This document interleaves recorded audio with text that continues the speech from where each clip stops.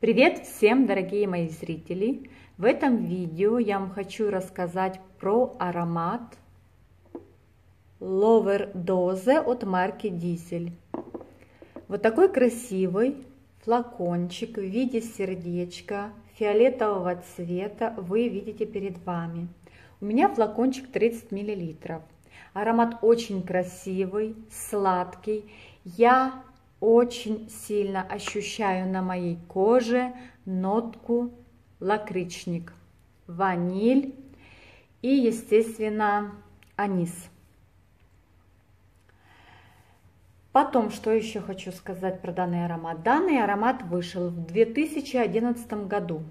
Давайте я вам зачитаю пирамидку. Верхние ноты мандарин и анис. Ноты сердца жасмин, гордения и лакричник. Ноты базы амбра, ваниль и древесные ноты. Аромат очень красивый, аромат очень стойкий, действительно стойкость там серьезная. Особенно на моей коже он держится очень долго. Давайте мы его нанесем на мою кожу. На моей коже ароматы не задерживаются. Редкостные ароматы могут задержаться на моей коже. И один из них вот этот. Он действительно очень стойкий, очень яркий, очень шлейфовый. Долго сидит на моей коже. Как впитался, так может просидеть 6 часов реально. Дальше, что еще хочу вам показать? Хочу показать вам коробочку.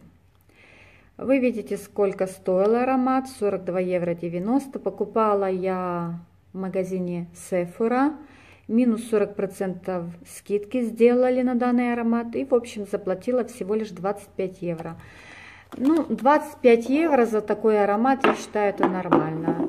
42 евро, я не думаю, что он стоит этих денег. Можно купить нишу. Дальше. Вот так вот выглядит сама коробочка. Покажу вам со всех сторон. И здесь все черно, темно. Еще вот так покажу. Все. А, что еще сказать? Носить этот аромат. Кто можете выносить? Да, любой, кто любит э, лакричник, тот, кто любит э, анис, могут э, смело покупать этот аромат. Хотя я буду советовать лучше всего потестить. Это мой совет, потому что он может и не понравиться. Он быстро не раскрывается, им, этому аромату надо время, чтобы он раскрылся. И вы знаете, что я хочу сказать, что его можно все-таки сравнить с другими ароматами. Хотя мне не очень сильно хочется его сравнивать с другими ароматами. Но с Лолитой Лимпика э, можно сравнить в парфюмированной воде, в концентрации парфюмированная вода все-таки он чем-то похож, хотя они совершенно разные. Да-да, есть схожесть очень сильно. И носить его можно днем, можно его носить вечером. Э, лучше всего носить его в прохладную погоду. Вот зимой он хорош, в раннюю весну тоже очень красиво раскрывается. В позднюю осень, когда уже холодно, тоже очень красиво звучит. Летом он какой-то другой и какой-то неприятный, и поэтому я категорически отказываюсь наносить его, когда теплая погода, когда жара. Так что вот так.